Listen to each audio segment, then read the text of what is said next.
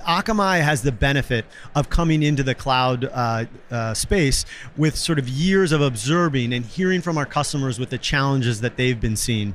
And so as we come into this, what we're really trying to encourage our customers to be cognizant of is designing applications that take advantage of the best of various uh, cloud providers. Hi, this is your host Swapnil Bhartiya and we are here at KubeCon in Chicago and today we have with us Matt Berk, VP of Cloud at Akamai. Matt, it's great to have you on the show. Uh, it's, it's great to be here, Swap. Thanks for having me. It's my pleasure to have you here and today we are going to talk a lot about cloud, cloud native, cloud native design.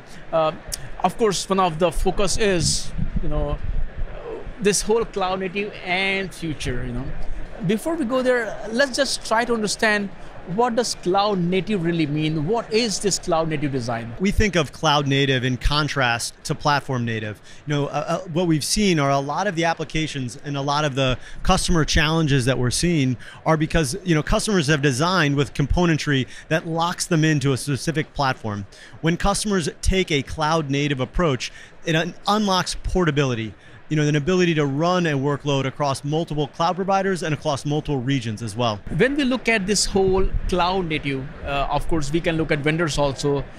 Do you think sometimes that portability get lost? what I've seen from customers is they go in with the intention of designing for portability, but oftentimes fall into a trap where you know some aspect of their architecture has a dependency that prevents them from being able to move from one one uh, cloud provider to another or to run their workload across multiple regions within cloud providers. And now just look at cloud native, cloud, cloud native design from the lens of Akamai, what does it mean for Akamai? Akamai has the benefit of coming into the cloud uh, uh, space with sort of years of observing and hearing from our customers with the challenges that they've been seeing.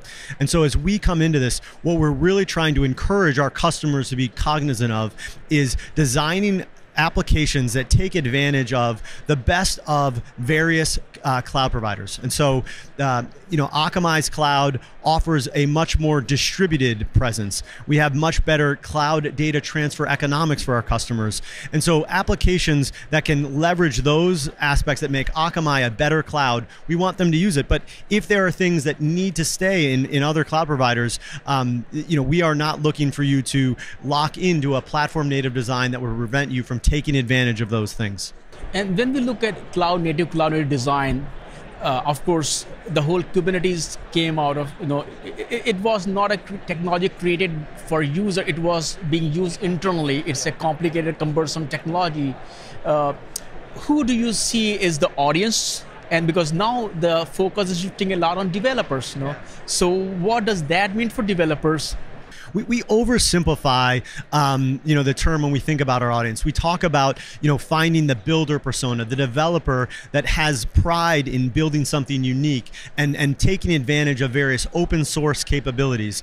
And so you know a big part of our cloud native design is building an ecosystem of partners who offer open source alternatives to the managed first party services that many other cloud providers offer. Does that overwhelm developers, developer team, and sometimes they might feel, hey, you know know, we are totally disconnected from this world. There is um, more challenges. You know, uh, you know, uh, certainly some of the the managed services that um, cloud providers offer is an easier entry but it is an entry that then the door closes behind you.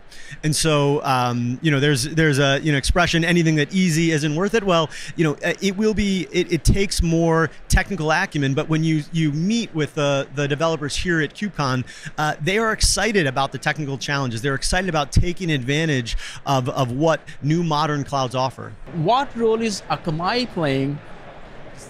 With the realization that this complexity is going to be there but reduce some of these challenges for the teams, developers team, DevOps teams, you know? Yeah, great question, Swap. So, you know, I think at least two things come to mind. One is making sure that the cloud primitives we offer are very simple. You know, uh, whether it is making sure there's great documentation uh, very easy to leverage our services through automation, Terraform, Ansible, various other things. So, so really simplifying the experience of the users when they're on our platform. That's number one. Uh, number two is, you know, working with this ecosystem to vet various technologies that run well on our platform and highlighting um, those capabilities, the use cases that those um, uh, partner components running our platform can unlock. And you know, that's some of the things that we're really focusing on right now. And if you look at Akamai, first of all, you folks predate all this cloud, you know, cloud. You folks acquired uh, Linode, you know, that also predates AWS, you know. Uh, so you folks have been around for a while. Also, uh, security is one of your strength, you know. And when it comes to cloud, sometimes we don't talk about all these things so I also want to talk a bit about looking at your own longer history, uh, the experience you know that you folks have, which kind of sets you apart from a lot of other cloud providers. Yeah, definitely. Where also because of some of these acquisitions, you also understand the pain points of developers. Yeah. All right. Well, you're gonna get me excited here, Swap. So, um, you know, I've, I've, had the benefit of being at Akamai for 20 years, and uh, Akamai's logo is three crests of a wave. Right. Our first, you know, crest of the wave was content delivery. That is what we built built um, to help solve the challenges that were present on the internet 25 years ago. Um, our second crest of the wave is associated with cloud security. You know, we saw customers and the challenges they were facing with things like DDoS and layer 7 attacks, and, and, we, and we understood how we could help them solve that challenge. You know, I like to say the third crest of the way for us now is with cloud computing, and we have the benefit of that legacy that you just described, Swap.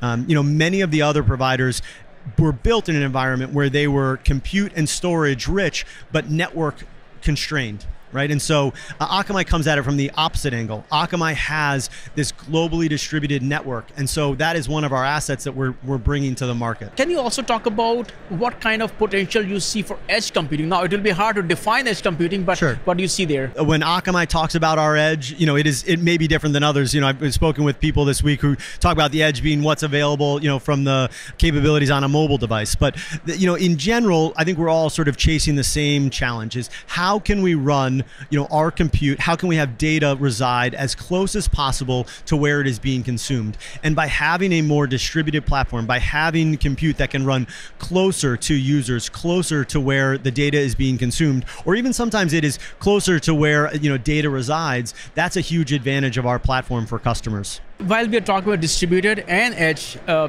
we're also, I mean, if you just look at the consumption, video games, VR is picking up. Next year, Apple will come with Vision Pro. So we will be creating a lot of content. and we'll be consuming a lot of content. And once again, all the CDN, you know, Netflix, they have their own edge, you know, data centers near users. So with this explosion of consumption, how do you see the cloud will change? I think you know, Swap. You you described a paradigm we see play out very interestingly in content delivery. You know, Akamai had the benefit of sort of pioneering the idea of this distributed architecture, and over the time we've seen our competitors try and get closer to closer to users, and it really validated the logic and the genius that went into to Akamai's foundation we're seeing the same thing play out in cloud. You know, Akamai has the benefit of having this this globally distributed network, 4,000 points of presence. We're seeing others trying to get out close, and and you described it. There are there are more and more use cases, whether it's it's VR, whether it's gaming. Um, you know, some of the the AI and ML inferencing that needs to happen close to where it's being consumed. That is is creating more and more of a need for things to be closer to users. And I think we have the benefit in that in that legacy that I described of having a leg up in terms of that that that footprint and and really a a architecture that was set up to handle these types of use cases. And uh, interestingly, uh, when it, even if you look at Kubernetes, they're lightweight Kubernetes. You know, the Mirantis had K0s, and you know, SUSE, Rancher, they have K3s. Uh, is Akamai also betting on these lightweight Kubernetes distributions also? It is something that, you know, you talked about Akamai's acquisition of Linode 20 months ago. It has moved us forward so much in terms of our ability to address the needs uh, of, what we're seeing with the modern developer, taking advantage of, of you know, various uh, versions of Kubernetes and finding ways, both offering a managed uh, Kubernetes offering as well as things what, you know, people want to, you know, build their own on top of us. So, you know, I think the Akamai computing platform will continue to be a place where developers can choose to either make use of something that we built or build something on their own. And we'll go back to the logo, the waves. You have seen so many different waves. You know, container wave was there. When we look at Kubernetes, you know, I, I'm not going to date you. I, you, I mean the company. Yeah. Uh, but uh, when you look at Kubernetes, do you see that this is the technology of the same stature as Linux kernel? Or you see that hey this is a technology that came and maybe we should be looking at something else which is easier. I am not the expert on this topic but i will give you my opinion swap. Um, and when i look around this show i think it speaks the power of what kubernetes uh, opened and, and has continued to foster. Meeting with companies throughout this week it's amazing you know the various enhancements and improvement they've made to make the developer's life easy. I really you know I, I really applaud the efforts of these various companies that have you know taken something um, that was really uh, you know I, I, don't know if everyone realized what it was when it was first uh, created and has opened up a world of possibilities for people to build really next generation applications. There are things like chat gpt which is more or less a hype but there's a lot of i mean here i talk to a lot of vendors they are now leveraging generative ai for products that they are shipping to their customers what role do you see of generative AI? Once again, since you have seen so much early, uh, and um, is Akamai going to bet on it as well? You know, so far the uh, the you know what we've seen where we, where we believe we're really well positioned is for the inference components of various uh, uh, LLM models.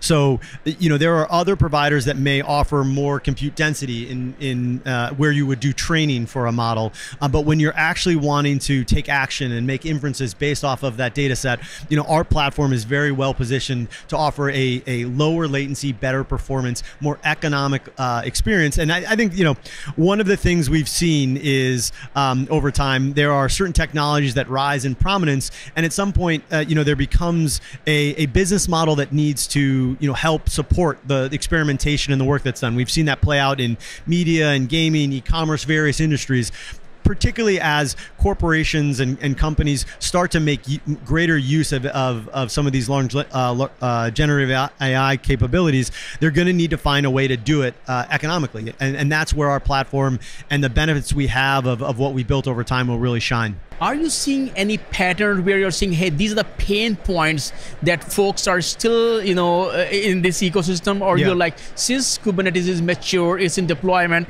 it is just like any other technology where, of course, some pain points obvious, or you're like, hey, this is the pattern we are seeing that may need to be addressed? Yeah, one thing that sticks out to me, and maybe there's a recency bias from my last answer.